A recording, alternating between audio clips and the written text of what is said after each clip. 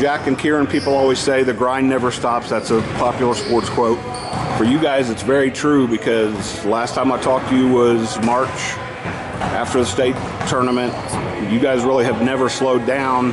Now you hit kind of an important stretch, and it's summer, so it's summer basketball, but this is good summer basketball. You're headed to Duncanville for a, a high profile tournament. Kieran, what do you guys hope to kind of gain from these three games this weekend? I think just team, like just bonding and that chemistry we really need throughout the summer just to carry on to the season. It's going to be good competition, so I think it will really help during season and district just playing these good teams at the beginning. So. Now, Jack, everybody in West Texas knows who Trinity Christian is. They know you guys are formidable. You get down there, maybe you're not as familiar to them. How can you turn heads these those three days while you're down there? I mean, we just gotta show who we are, not just a private school team, how we can compete with these other teams. Uh, we just gotta go out there and like play our best and don't, don't shy away from the from the stage.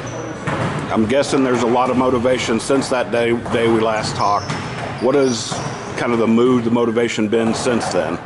Man, it's just after we're up, just keep going, pushing, striving through. Because a lot of times when we're playing teams, we'll let down. But I think really just pushing, getting better as a team overall. So. Besides you two, Marcus is back, Dax is back. Who am I missing? Is there anybody? I know you lost. Okay, so you have Yes, sir. you have body a lot of bodies. I know you that uh, young Mr. Delgado Yes, is here. He's kind of he's calling following the Jack Robinson path. He's Yes, graduating to Trinity from the smaller schools. Right. You, you guys have both kind of talked on chemistry and, and being together. Where is that chemistry right now, Jack? Sure. I feel like it's the best it's been in a while.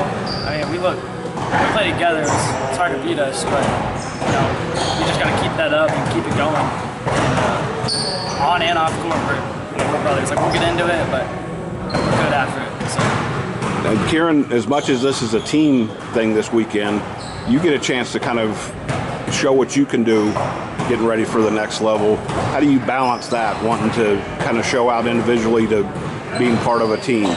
I mean, just playing as a team really shows the coaches that I'm not only like just me out there just trying to play and get mine, but I can play as a team and score throughout that, play defense and everything. So I think just overall should be good. One thing that I've heard from a lot of people is this thing, although it's a summer tournament, is there will be a pretty lively crowd. It'll be different than a lot of tournaments you guys go to. That gets you ready for the season too. And Jack, you guys have seen that. You see that every time you step on the floor here. You saw it in, in Waco. How much can that help some of the younger guys kind of hit a growth spurt? shoot, he'll get them, get right into the fight. You know, there'll be a, a lot of people out there, big time people, and so you're gonna, it's gonna be experience for the young guys for sure. To you know, like shoot, this is, this is what we're here for. So get them, get them early experience so they're ready for big crowds and loud, and we can play here and away in Waco. So,